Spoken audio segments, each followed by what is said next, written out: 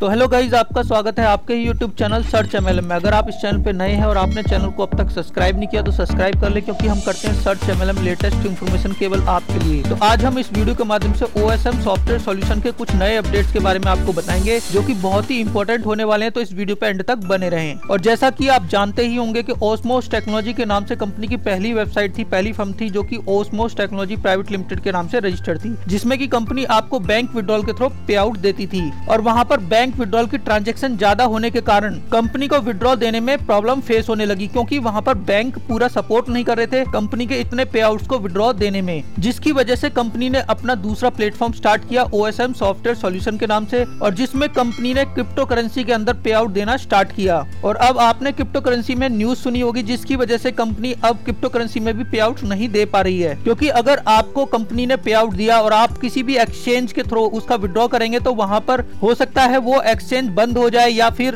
उस एक्सचेंज को बैन कर दिया जाए, जिससे कि आपके क्रिप्टो करेंसी का लॉस हो सकता है, जिस वजह से कंपनी ने क्रिप्टो में पे आउट देना बंद कर दिया। जिस, इसलिए यहाँ पर कंपनी फिर से अपना इंडियन विड्रॉल स्टार्ट करने वाली है, लेकिन यहाँ पर ओसमोस टेक्नोलॉजी कंपनी का जो पहला प्लान था, उसके थ्रू कंपनी ये चीज़ स्टार्ट नहीं करेगी। अब यहाँ पर कंपनी ने अपना दूसरा नाम रजिस्टर कराने की सोची है, जो की है Osmos software and solution private limited के नाम से। तो यहाँ पर मात्र कंपनी ने सॉफ्टवेयर और सॉल्यूशन के बीच में एंड का यूज़ किया है। तो यहाँ पर अब जो आपको पे आउट मिलेंगे, वो OSM software and solution private limited company की फर्म इनकी ओपन होगी, उसके थ्रू मिलेंगे। तो यहाँ पर कंपनी पे आउट देने के लिए पूरा पूरा सोल्यूशन निकाल रही है। तो यहाँ पर कंपनी को OSM software and solution private limited company के जो डॉक्यूमेंटेशन से रिलेटेड जो भी पेपर वर्क है, उसमें लगी हुई है, ताकि कंपनी के सारे डॉक्यूमेंट कंप्लीट हो और प्रॉपर वे से इंडियन करेंसी के अंदर कंपनी पे आउट दे सके। और जिसके लिए ऑसमोस टेक्नोलॉजी कंपनी के जो ऑनर है, उन्होंने मीटिंग की cabinet minister mister Prakash Javadekar से, ताकि इन फ्यूचर इंडियन विड्रॉल देने में किसी तरह की प्रॉब्लम फेस ना करनी पड़े कंपनी को,